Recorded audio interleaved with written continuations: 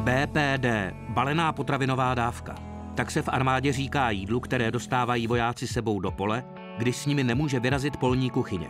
A její současná podoba a složení už je nahony vzdálena konzervám, které jsme znali dříve. Náš požadavek je, že všechny ty balené potravinové dávky se budou dělat z čerstvý surovin, čerstvého masa, žádného zamraženého, ale primárně jsme pak hledali ty potraviny, které regenerují svaly anebo snižují tu zátěž stresovou, což bylo pro nás velmi důležité. Proto v těch přídavcích máme vlastně ty energetické gely, že jo, proteinové tyčky, sušenky, máme tam sušený maso, máme tam, a máme tam dokonce i tablety, dezinfekční tablety na vodu, protože nevíme, kde se ten voják bude pohybovat. Samozřejmě nezbytné je i párátko a žvíkačka.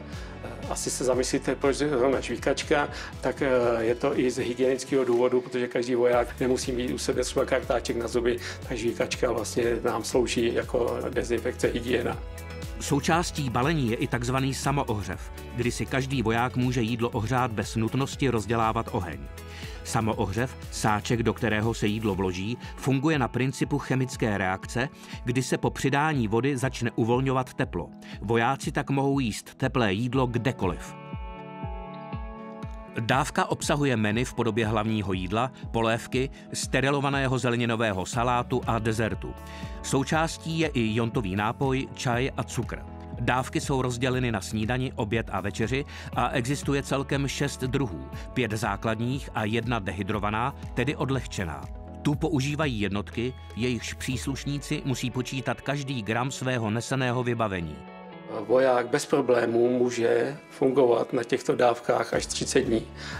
Za 30 dní předpokládáme, že dojde k zabezpečování další teplé stravy. Jako hlavní klady bojové dávky potravy tak bych viděl její skladnost. Je rozdělená do více balíčků, které jsou eh, skladnější v tom osobním materiálu vojáka a musím ještě podotknout, že co se týče chuťové stránky BDP, tak eh, opravdu jsem na to neslyšel negativní reference.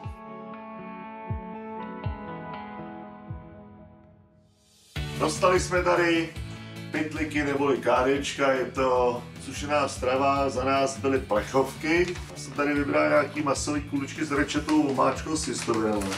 Šumák, sůl, pepř, pár, párátko čaj. Hm. Hele, dezert. Instantní hrachová polivka. Ne, co je tohle? Je to nějaký ten ozejlák, čiče. Vemu, roztrhnu, vložím, zaleju vodou, zavřu, vařím a pak jim. Teď se neopařím a vydáme to ven. Vypadá, že to je teplý. No. Je to hustší.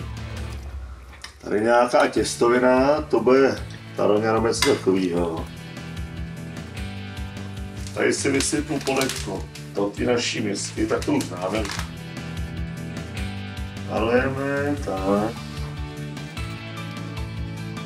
Oni to hrachu. Jo. Hm. Jo, myslím si, že meničko skoro Falcon, jo.